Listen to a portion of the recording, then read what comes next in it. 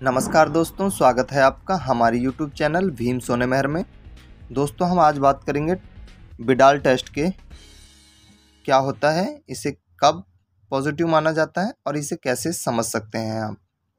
तो दोस्तों, अगर आप हमारे यूट्यूब चैनल पर नए हैं तो हमारे यूट्यूब चैनल को सब्सक्राइब कर लें और बेल आइकन प्रेस कर दें, जिससे कि आने वाले वीडियो की नोटिफिकेशन सबसे पहले आपके तक पहुँचे।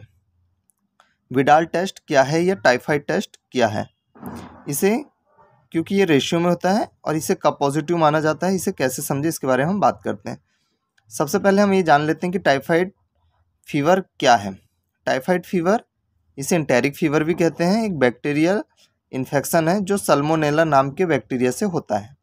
ये इन्फेक्शन हमारे डाइजेस्टिव सिस्टम इंटेस्टाइन में होता है।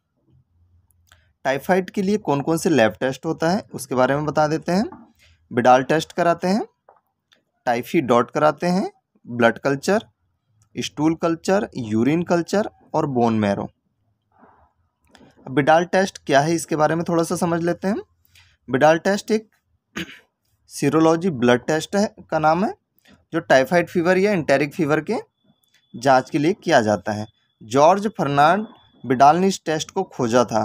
इसलिए इस टेस्ट का नाम विडाल टेस्ट है।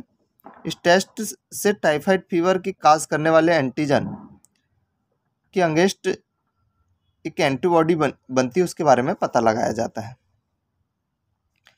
अब सल्मोनेला बैक्टीरिया दो प्रकार के होते हैं। सल्मोनेला टेफी एस्टेफी और Salmonella paratyphi S paratyphi. Salmonella bacteria दो प्रकार के होते हैं। उसमें सल्मोनेला टेफी एस्टेफी के भी दो प्रकार होते हैं। दो एंटीजन होते हैं। एस्टेफी ओ और एस्टेफी एच, एंटीजन, जिन्हें टी ओ या टी एच भी कहते हैं। Salmonella paratyphi, S paratyphi, Salmonella paratyphi A, antigen और बी, एंटीजन। अब जान लेते हैं कि सल्मोनेला टेफी ओ, एच, कितना रेशियो आने पर हम उसे पॉजिटिव मानते हैं, कितना रेशियो आने पर उसे नेगेटिव मानते हैं।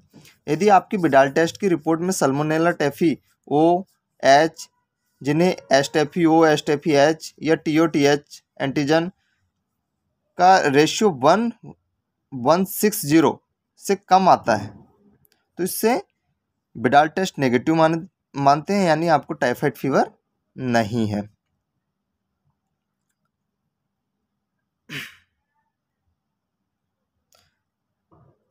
इसी तरह अगर S typhi O S typhi H का ratio one ratio one six या ज़ीरो से वन सिक्स ज़ीरो तक या उससे अधिक अगर होता है तो टाइफाइड पॉजिटिव माना जाता है। या माना कि आपको टाइफाइड फीवर है। अब इसमें एक क्वेश्चन आता है कि एस्टेफी ओ पॉजिटिव आ गया या एस्टेफी एच पॉजिटिव आ गया तो क्या होता है? अगर एस्टेफी ओ पॉजिटिव आता है, इसका मतलब एक्टिव इन्फेक्शन है। करंट में इन्फेक्शन है, अभी तुरंत का इन्फेक्शन है। और एस टेफी एच पॉजिटिव आता है तो पास्ट में इन्फेक्शन है, पहले कभी इन्फेक्शन हुआ है टाइफाइड फीवर हुआ है, या फिर वैक्सीन लिया इसकी वजह से उसके अंदर एंटीबॉडीज है।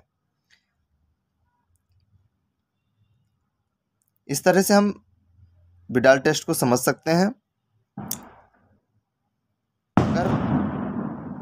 वन ट्वेंटी आता है, वन फोर्टी आता है, वन एट्टी आता है तो हम इसे नेगेटिव मानते हैं। One six zero, one three two zero, one six four zero, ये आता है तो पॉजिटिव माना जाता है। Thank you